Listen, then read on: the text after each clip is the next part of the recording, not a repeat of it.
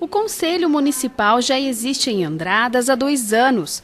Durante esse tempo, seus membros trabalharam em conjunto auxiliando o município na área de assistência social. Na reunião desta terça-feira, foi realizada a cerimônia de posse. Como presidente está a advogada Adriana Coelho. Como vice-presidente, Arminda Amarante Cruz Panseri. E como secretária, Juliana Carlin Saceron.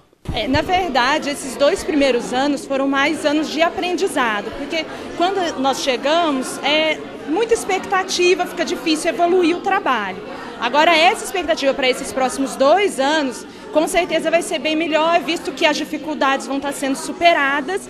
E é um, um prazer, uma honra sempre estar podendo ajudar a população. Quando nós assumimos, era tudo muito novo para todo mundo, né?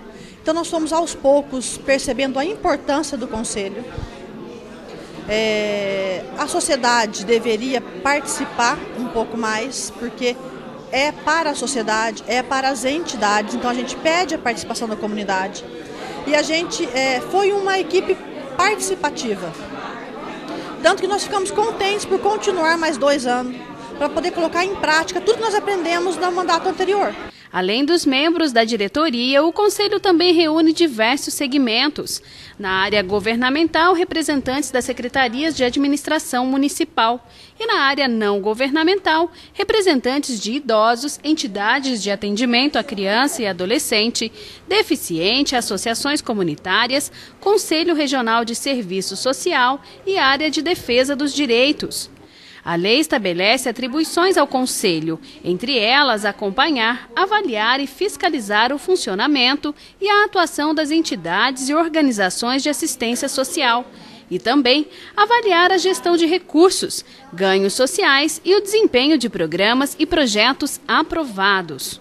O conselho, na verdade, ele está aqui para ajudar a população e os usuários da assistência social, sendo que estamos sempre de portas abertas para quem quiser vir dar alguma sugestão, casos de denúncias, o Conselho está aqui para apurar e ajudar o, o, município a crescer na parte da assistência social. Todo o trabalho do município inteiro que envolva a assistência social, ele, é, ele tem que ser inscrito no Conselho, para que o Conselho também possa regulamentar melhor e acompanhar melhor essa entidade, esse serviço, ver o que, que precisa, né, e que ele possa também fazer esse tipo de controle fazer essa avaliação da instituição, aprovar projetos. Então, o Conselho é um parceiro de extrema importância no município na área da assistência social. Porque o objetivo do Conselho é ajudar as entidades. Não é punir, não é fiscalizar para retirar o benefício de ninguém.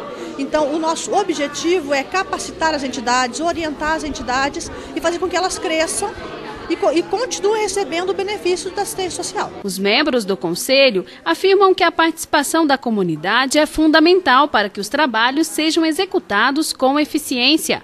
Quem quiser conhecer mais as propostas, pode buscar informações ou ir às reuniões que são quinzenais. A população é, é, é de extrema importância, porque sem ela nós não podemos fazer também um trabalho bem feito. Porque ainda mais os usuários da assistência social, que eles estão mais por dentro né, de todas as necessidades. Então, caso eles possam e queiram, está de portas abertas o Conselho.